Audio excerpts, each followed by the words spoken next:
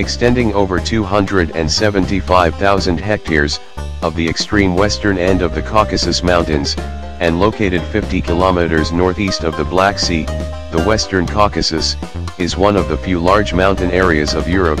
that has not experienced significant human impact.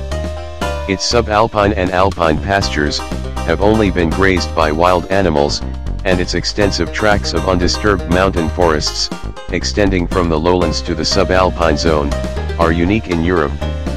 The site has a great diversity of ecosystems, with important endemic plants and wildlife,